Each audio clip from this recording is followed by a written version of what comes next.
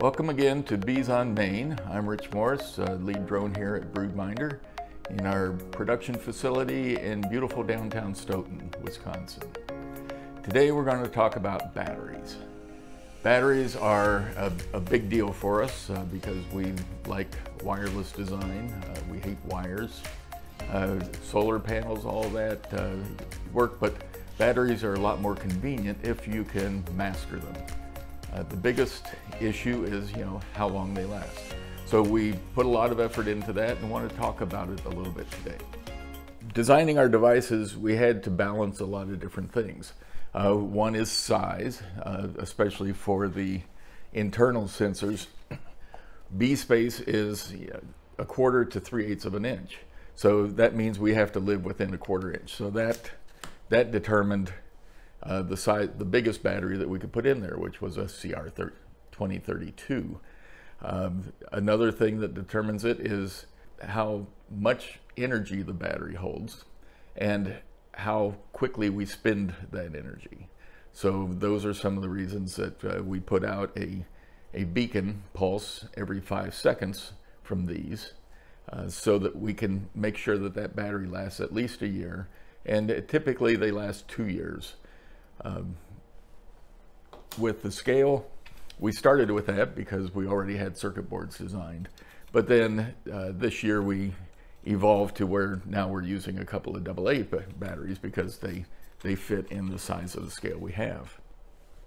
So we redesigned the board and, and we can make it use um, AAA batteries.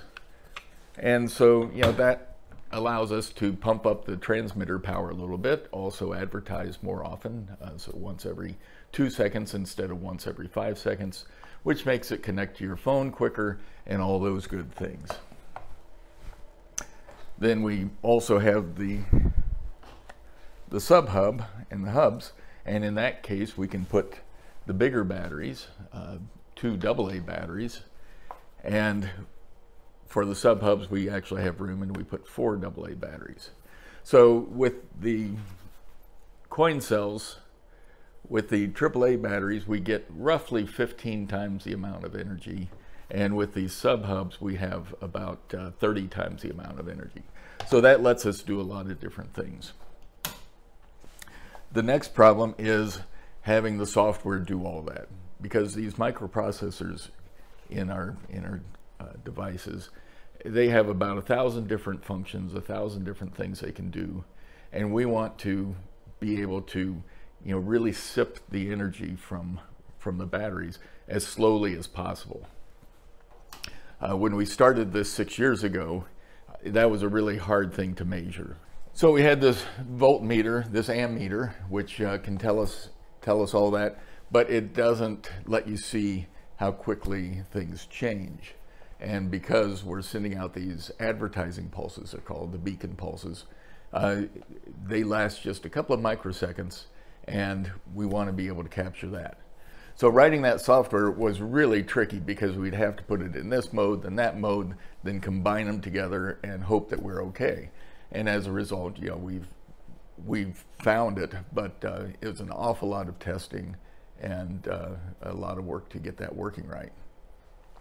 Uh, last year, we got this new device called a Joulescope, uh, which was yeah, three or four hundred dollars, but that was compared to the test equipment we would have needed before, which was about ten thousand dollars. So once we got that, now we can see continuously uh, what's going on with the current consumption and we can measure that. We can leave it run for several days and then see how many it uh, has, how many microamp hours, how many milliamp hours uh, that the battery's been used up. And then we can test our software with that. It's still a big challenge. Um, Rich Hogel and I spent the last two days uh, working with uh, the new uh, Wi-Fi device so our new Wi-Fi device is basic. It's based on our what we call our XLR board that we sell for DIY and a lot of different things, and we've added a Wi-Fi module to it. And we know exactly what we want it to do. We know it, we want to power down the Wi-Fi. We know all these things. And then you start working through the specification sheets, and uh, it literally took us two days to figure out why the specification sheets didn't exactly match the performance of these. And some of the chips on it, we we can put them into, you know, we call it, they call it a power down mode, where it goes from consuming a few milliamps to consuming a few microamps. So that's a thousand times lower and on average, we need to be uh, consuming less than 10 microamps uh, when it's idle. So it took us a long time. Uh, Rich stuck with it, and we would just keep, you know, trying it and testing and trying and testing, and we finally got that. So now we know that with the uh, batteries on the Wi-Fi device, it should last uh, over a year at this point. Uh, we'll keep working on it and try to get that, you know, closer to two years. But we want all our devices to last at least a year just because it's a pain in the butt, we know, to change it. We don't want to use up all those batteries. Um, we'll have instructions if you want to, you know, power it from solar or those sorts of things. You can do that yourselves, but that's the way we plan to go with it. Um, and these two, the thingy, uh, we now have also working and sending data to the network um, and just starting to work on the power consumption with it. Uh, there again, the devices in here are capable of going down into the microamp consumption range, but we just have to make sure the software is doing that and not accidentally leaving on an LED or leaving on um, something that we don't even use. Uh, we just have to go through the list of the hundred different things that could be wrong and make them go away. And, you know, both of these, you know, they will fit, you know, inside the solar shields like we've recommended with the, uh, with the SubHub device. And, you know, that's coming along really nicely. The one other thing I want to mention is, you know, where you can get your batteries. So we buy lots of batteries. We've, you know, shipped 20,000 devices, so we've bought more than 20,000 batteries. Um, the places we get them usually are DigiKey because it's convenient and they've got good prices. Uh, when we buy them in uh, our quantities, we pay about 25 cents for uh, the coin cells. We typically buy FDK uh, coin cells or Panasonic. There are some cheaper ones and we really think they would work just as well. But uh, we've had good luck with FDK and so that's what we're sticking with. You know, when it works, don't change it. Uh, with regards to the the uh, AA and AAA uh, cells, uh, the highest capacity ones we found are the Energizer Ultimate Lithiums. Uh, they're L91 and 92, I think. And we normally get them from um, a company called thebatterysupplier.com. Uh, and we can buy them, you know, 500 or 1,000 at a time. Uh, but frankly, the prices that you can get by shopping around on Amazon are also pretty good. Uh, typically, we pay a dollar forty for the double A's and a dollar thirty-five for the triple A's. So there's not much difference um, in the price of those. But uh, the double A's, which we use in the W3 and in the SubHub, you know, they carry a lot more power. Uh, so, so that's what we do there. So the other thing I wanted to talk about a little bit are, you know, is what goes wrong. So if your devices aren't lasting a year, then, you know, there's a couple of things, and I'll show some, some pictures alongside here. But what will happen uh, when the chemistry changed back in the 80s for flux remover, for the flux used with the solder, um, then we started having these problems.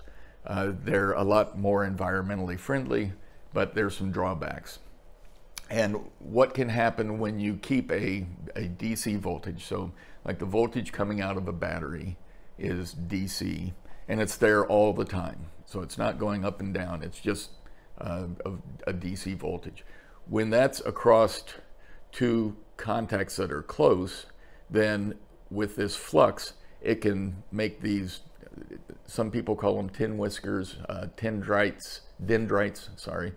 Um, but it makes almost a wire. Uh, it's not a very good wire, but it's good enough that it can drain the battery faster. That is typically what goes wrong in these.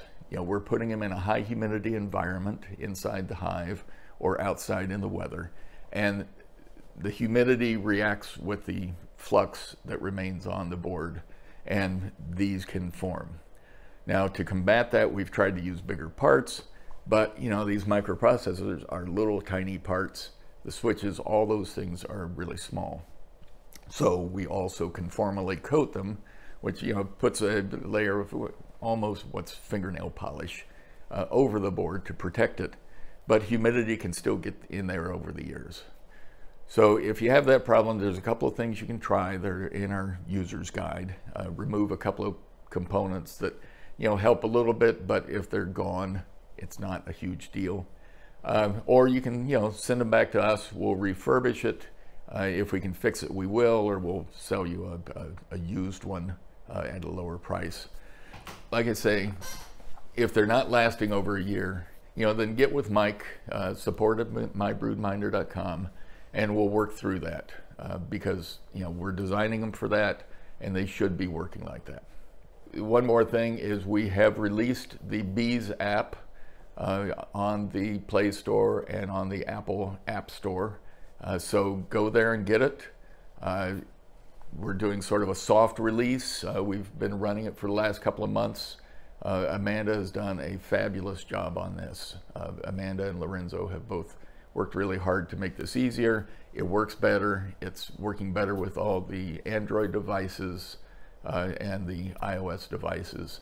Uh, we're still, you know, working through. We haven't tried it on all 4,000 different kinds of Android devices. So um, try it out. Uh, the old apps still work, so we'll leave them up for, for a while, but uh, give that a try. And that's about all I got this week. So uh, thanks for listening, and remember, every hive counts.